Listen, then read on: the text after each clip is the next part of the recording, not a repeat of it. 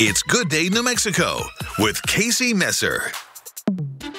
All right, maybe you've always wanted to start your very own business. Well, my next guest says there are five things you've got to do if you want to get it going. Here with more, Rondi Lambeth. He joins me now. Welcome back. It's been a while. It has. Thank yeah, you so much for having you me. You got back. it. Okay, let's jump right in. Five credit ha- or not credit hacks, but things you've got to do to get going on your business plan, right? Yeah. They. Um, it was April 2006. I received a, a phone call from my mother and she informed me that my little brother, who was a firefighter in Oregon, had been involved in an accident.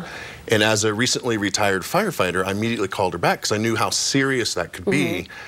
And I found out it wasn't an accident, that my brother had shot and killed himself. Oh my gosh. He was 22 years old. And like 50,000 other Americans every year that kill themselves, the leading cause is uh, financial problems. Mm. And so shortly after that, I founded Fortress, which was America's first paid on results financial services company where we help people. And today I want to talk about how we help businesses get funding mm -hmm.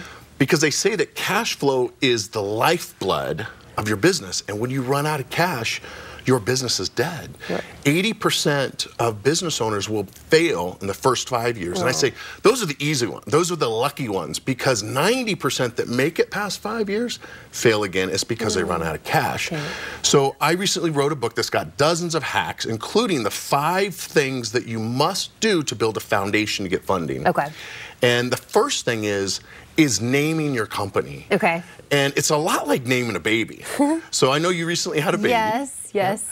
And how long did it take you to pick that name? Well, I don't know if I'm going to be a good example here because I yeah. actually found this name when I was 21, and I didn't even have kids till I was 31. But um, I just loved this name for the longest time, and I did, you know, sit on it and sit on it. And so is that you got to really so it think took about you 10 it? years. I guess so. Yeah. so yes, and most people what they do is they fail and they just name it something to like what they do or their industry.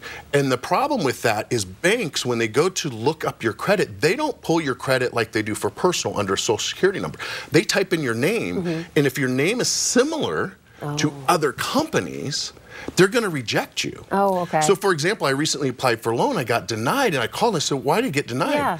And they and they don't have to tell you why, but it was my personal banker. She goes, "There's 147 other companies with the same name that are defaulted, so you need to name it something about."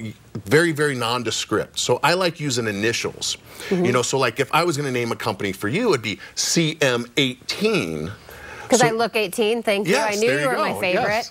Yes. You know, because that's the year you founded it, maybe, okay. right? Yeah. so the second thing you got to do to build business funding is you have to incorporate. If you don't incorporate and create that birth certificate, that business doesn't really exist. Okay. So you got to do an LLC, an S corp, or a C corp. It really doesn't matter which one. Okay. And the third thing to get the funding is you need to get a domain domain name. So you can go to GoDaddy, pay sure. a few dollars, and by getting those unique names, it's easy. It's six dollars. Oh, you know, nice. last okay. year I bought a domain. It was ten thousand dollars. What? For this domain name. Oh no. But it was the perfect domain okay. name. But if you name it after very short like that, it goes fast. Okay. The, and real quick. Yes. Yep.